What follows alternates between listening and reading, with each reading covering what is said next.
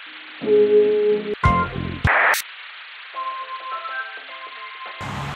we rolling? Hello and welcome to another episode of Wonders of Wyoming. I'm Tom Wilkins Peak. Today we are going to be exploring a very important landmark in the city of Sheridan, Wyoming, which is in the northern part of Wyoming and features many historic buildings in and itself. Behind me is the historic Sheridan Inn, which started construction in 1892 and was completed in less than six months in 1893. When completed, this building was estimated to cost $25,000, something unimaginable in this day and age. The construction took place three years after Wyoming became a state. The historic Sheridan Inn was built to serve the railroad workers from the depot next door. Buffalo Bill Cody held auditions right where I'm sitting. Nearly 30 years ago, Buffalo Bill Cody held auditions for his world-famous Wild West shows from right where I'm sitting. Buffalo Bill would sit and watch the auditions and then pick his characters from there. The inn has seen booms and busts just like the town of Rock Springs did in a film you can find at your local library, a part of the Wonders of Wyoming series. With booms and busts, unfortunately comes financial instability. The inn has been the subject of both praise and controversy from local residents, most of which have nothing better to do than complain about old buildings taking up space.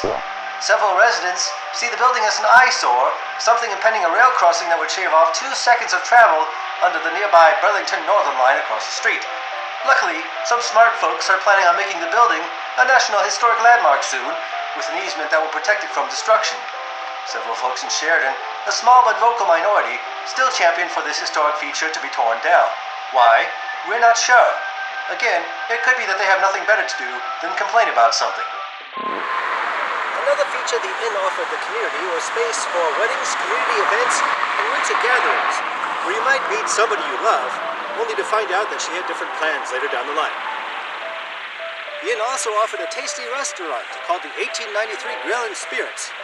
The restaurant features tasty food and wonderful service, and wonderful service from the service providers. The bar in the restaurant is much the same as it was in 1893, with bullet holes still visible in the walls. Without the support of the community and others from around the country, the future of the Sheridan Inn remains unknown. With the recent financial difficulties, the inn may be sold to another owner, and who knows what will happen to it at that point. We'd like to ask the community for more support, as it is only 1930, and surely more money will be made in the future. We'd like to offer up that this building is indeed a treasure to the Sheridan area, an important part of its history. We'd also like to ask that folks who have complaints about details about the Sheridan Inn complain about something worthwhile for a change.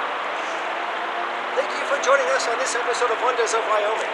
I'm Tom Wilkins Peak, saying if you'd like to see more Wonders of Wyoming, visit your movie theater and pay 50 cents.